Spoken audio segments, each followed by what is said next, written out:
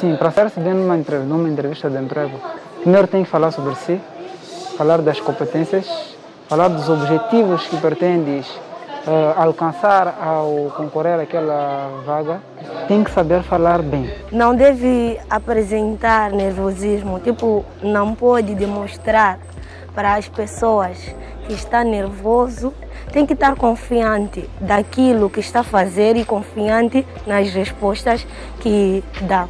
Tem que estar bem apresentado. A forma também de se comunicar com a pessoa também conta. Não pode dar muitas voltas eh, naquelas questões que a pessoa estará sendo eh, feita.